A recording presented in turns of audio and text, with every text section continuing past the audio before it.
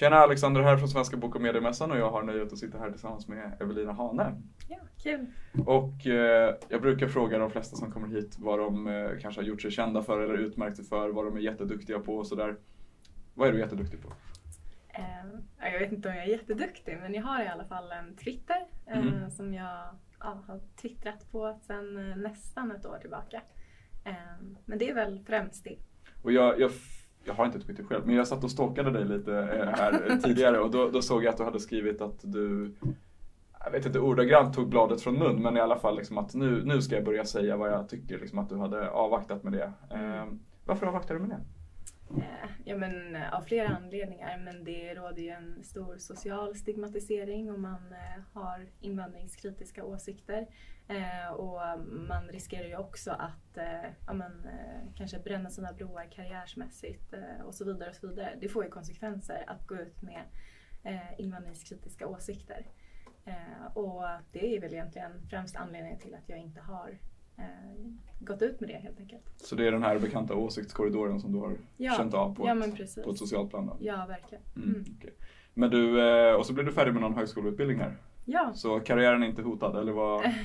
Nej men eh, jag har läst civilingenjör och den är fem år. Mm. Eh, fem års studier. Och du blev klar nu i vintras va? Eller? Eh, nej, det blev jag faktiskt inte. Jag blev klar eh, förra, eh, alltså året innan i juni. Jaha, men okej. du kanske såg min examensceremoni? Ja, var ja, exakt. Ja. Den blev uppskjuten på grund av corona. ja, såklart. såklart. så det var därför den Ja, var okej. nu i höstas då. Mhm. Eller ja, i november. Okej, ja men grattis får man Ja, säga. tack så mycket. Men du har inte börjat jobba med det än eller? Eh, hur? jo, eller jag jobbade parallellt eh, samtidigt som jag också studerade. Eh, de två sista åren som jag pluggade så jobbade jag i Stockholm. Mm. Eh, och jag fortsatte jobba med det då även efter. Eh, och sen blev jag gravid så att nu är jag mammaledig. Just det, just Mm, det. Eh, lilla Saga va? Eller hur? exakt, Ja, Saga. så gullig. Men jag tror att många är nyfikna. Vad, du kom som besökare på förra mässan här i höstas. Mm. Tyckte du det var bra? Ja, men Hoppas det, var, antar jag. Ja, nej, men verkligen. Nej, men det var jättekul och givande att träffa många likasinnande. Det var ju väldigt eh, mycket folk och kul att se de här debatterna. Och, ja, ibland var det så fullt så att man inte ens kunde ta del av det tyvärr. Nej, just det. men det är positivt att det var väldigt mycket folk. Ja, du och Ingrid gjorde en så jävla eh, grym film när ni liksom står där och är hur glada som helst. Typ, ja, men det, det, var, det var superfint. Ja. Men eh, jag tror att det skulle vara kul att veta för de som tittar nu. Vad, vad ska du göra nu den 5 mars på mässan? Eh, ja, men nu ska jag vara med i en paneldiskussion eh, som jag ser fram emot att delta i. Vill du spoila vilken det Eh, kommer vara? det verkar som att det blir sociala medier. Åh, vilken... Eh, jag ser mycket fram emot den faktiskt. Det kommer okej. vara eh, lite, liksom, jag tror att den kommer vara lite högre energi än vissa andra ämnen ska jag väl säga. Så att personlig favorit. Eh, är du redo för lite snabba frågor?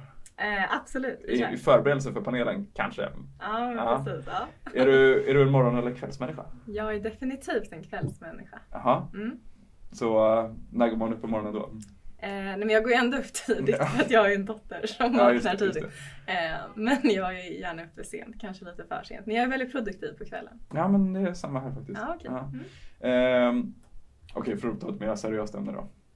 Klimathotet Mm. svävar över oss. Eller förnekar du det? Eh, ja, alltså, jag förnekar inte att det sker klimatförändringar. Eh, men däremot så kanske de eh, ser lite annorlunda ut än vad eh, ja, det som förmedlas utåt. Mm, right. Och människans påverkan framför allt. Ska inte ställa upp i klimatpanelen? ja, jag vet inte. Nej, jag tror att den, den är rätt fulladdad med, med tunga forskare och sådär. Så Ja, det, jag tror de att den är, den är rätt svår faktiskt, ska jag säga. Att, eh, Det kan jag tänka ha mig. alltså, man behöver vara rätt insatt för att ens kunna leda en diskussion i, i det Mm. ämnet faktiskt. Och Mm. det är så mycket vana föreläsare. Så det, Ja. Men eh, du ska vara i sociala medier-panelen. Mm. Vad har du för sociala medier? Eh, nej men jag har ju de flesta sociala medier men den enda som jag egentligen skriver något politiskt på är ju min Twitter. Eh, men det kanske ändras i framtiden. Okej, vi så de andra är mera personliga? Ja men precis. Men när du säger att du har de flesta, betyder det att du har de här liksom, ah, vad heter det, VK och Oj, TikTok och nej, sådär? nej, Alltså, okej, nej, inte så. Jag Nej. har väl Facebook, Insta, alltså standard. Ja, okej, de, de stora. Standardutbudet liksom så. Ja, okej. men man kanske skaffar något, något annat i framtiden för att hänga med eller något. Just det. Vad är bästa resmålet? Eh, jag har varit på en utbytestermin i San Diego i USA Mhm. och det får jag nog säga har varit min eh, bästa resa, eller den har i alla fall gett mig allra mest. Okej, så vad var det som var så härligt där? Nej, men jag älskar ju sol och värme och även om man är en nordbo liksom. Men vi törstar ju sol. Jo. Eh, nej men väldigt eh, behagligt. Det var ju nästan sån semester för att skolan där är ju betydligt lättare än i Sverige. Eh, så att, eh, ja, men det var mycket upplevelser. Eh, reste runt i Kalifornien och besökte olika eh, städer. Och, ja, men det var mycket som hände. Mm, ja. Kalifornien är... Ja, men det, det är många som gillar det just för att det är så soligt och fint. Även om det kanske börjar bli lite mer som ett latinamerikanskt land om jag har förstått det rätt. Ja, det, så, så kan det Så kan man säga också. Man säga. Ehm, fortsätter på det här utrikesspåret. Mm. Swexit, ja eller nej? Du kan bara svara snabbt. Eh, ja, självklart. Självklart. Ja. Ja. All right. det, var, det var bestämda uppfattningar. Vi ska nämligen ha en panel om det också på, på mässan nu då. Ehm, musikintresserad? Eh, ja, men till viss del i alla fall. Så om du spelade i ett band, vad skulle du göra i bandet? Eh, vad jag skulle göra i bandet? Ja, den är lite svår. Skulle Ja, du sjunga, spela något instrument? men eh, kanske sjunga eller typ piano kanske. Fast jag gillar ju hårdrock, jag lyssnar på hårdrock. Alltså, men, ja. eh, och det är inte så mycket piano i hårdrock så det kanske hade blivit... Nej men jag vet inte. Nej, men då blir, det, då blir du sångare. Det Ja, kanske. skulle passa din eh, image tror jag. Ja. Ehm, men, eh, och annat underhållning?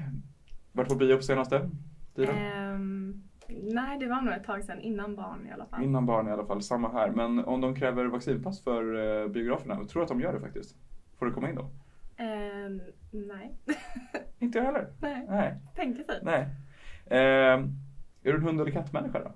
Um, alltså jag älskar ju djur överlag så Mm. jag har svårt att välja. Ehm, jag, nej, jag tycker om båda hundar. Kanske en av varje? Kanske. Men ni har inga husdjur du va? Nej, inte nu. Men det hoppas jag att Men det kan vara gulligt att ha liksom med, med småbarnen va? Ja men precis. Nej men Saga älskar ju också djur och Mm. framförallt hundar. Hon är verkligen en hundmänniska. Ja men då, skaffa en liten hundvalp som så här, vad heter det, Saga kan rida på när den blir större, hur? Exakt. Ja. Ja. Ehm, vi kommer ha någon panel om kryptovaluta. Det är sån här apropå svåra ämnen som är alltså där det finns många olika åsikter. Mm. Är du investerad i krypto? Ehm, inte, jag personligen har inte investerat i krypto men min man har ju däremot och han är väldigt eh, insatt i det. Ah, okej. Mm. Så han, eh, och han tycker att det är bra? Eh, han Ja, kan men, få svara på det själv. Ja, men det, det skulle vara intressant att höra för det, det är så många olika perspektiv nämligen. Men ja, men vi släpper det. Mm. Nu, vi har lagt ett ganska omtumlande år bakom oss, eller hur? Eh, ja, nej men det får man väl säga. Mm. Mm. Vad har varit eh, liksom, höjdpunkten för förra året då? Förra året, ehm, ja alltså min dotter hon kom ju 2020 så det Ja. är inte förra året. Nej, det men det var ju precis vid årsskiftet där. Mm. Ehm, Så hon räknas eh, ändå in kanske? Nej, men, ja, alltså att ha min dotter det är väl höjdpunkten eh, under året. Jag har Mm. haft min dotter nu i ett år och det måste jag ju hela, ja nej året har varit fantastiskt.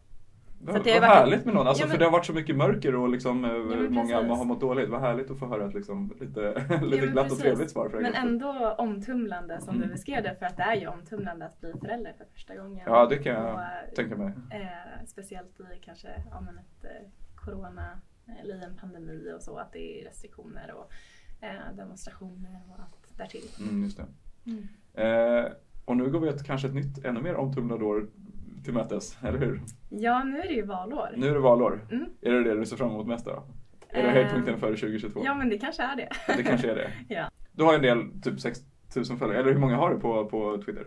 eh, jag tror det är 7000. 7000? Mm. Eh, coolt, det är coolt. Eh, har du någon så hälsning som du vill eh, leverera till dina liksom, följare angående eh, mässan som är nu 5 mars? Ehm, ja, nej, men eh, det, det hade ju varit jättekul om folk som eh, är intresserade av att höra vad jag har att säga eh, ville komma dit och se mig diskutera. Det är ju egentligen min, ehm, ja, mitt första så, politiska framträdande live kan man Oh, säga. är det? Vad spännande. Ja, jag vilken, vilken, eh, vad roligt det ska bli. Nu blev vi extra Ja, precis. Eh, nej, men så att eh, jag kommer nog vara lite nervös men det, jag hoppas att det ska gå bra. Ja, men det, det låter bra. Men eh, du, jag får tacka så jättemycket för att du hade tid att prata lite idag. Tyckte det var Tack trevligt. själv. Eh, om vi inte ses innan dess så ses vi på mässan den 5 mars. Det gör vi. Yes. Tack. Tack så mycket.